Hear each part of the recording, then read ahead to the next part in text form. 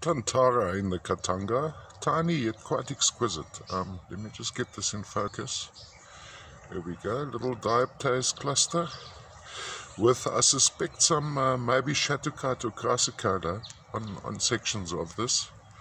Let's see if we can zoom in. That is obviously quite overexposed. Tiny crystals jutting out here. Let's give it to you at an angle like this move it around.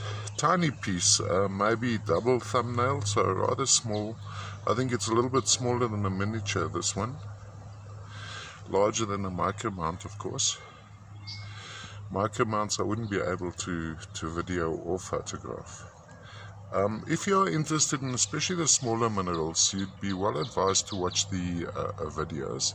Lovely dark green, the one you would expect from Dioptase, of course from the Tantara mine famous deposit for lovely dioptases and shattuckites, etc.